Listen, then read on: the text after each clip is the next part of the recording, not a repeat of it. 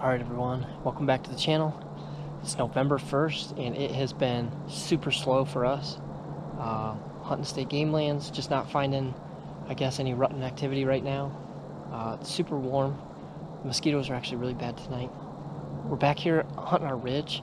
Uh, we have a camera right down over here and it's picking up all kinds of buck activity, uh, just generally still at night.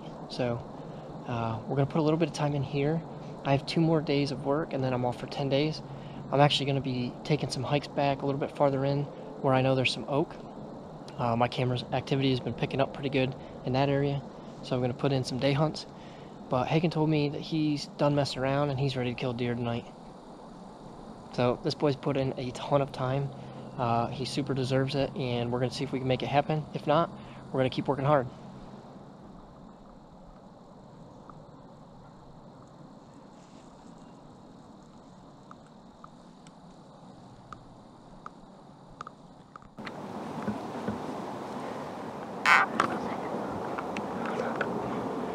eso.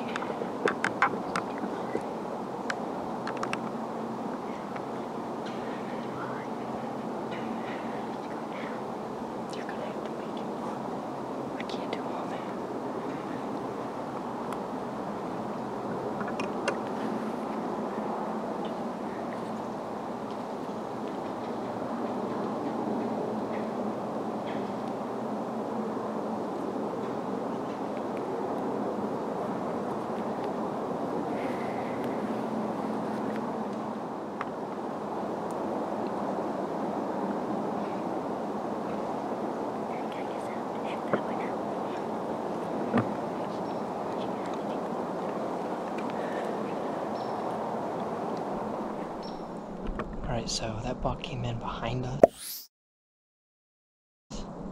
on his weak side. Made a little rub out there. Didn't really have a clean shot, but we had a lot of monkeying around to do to try and get set up.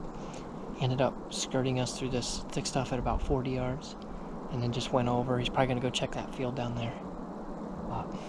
We've sat on this ridge a lot this year, and that's the closest we've came to a buck, so uh, it's a good sign. Oh yeah, we need somebody to down there pushing them around, huh? So November 1st, and we're finally seeing some bucks. So uh, let's see what happens. That would have been a beautiful eight point for him to get. Don't move to your right a little more. Hagen, don't move. To your right more. He's coming up right there. Yeah.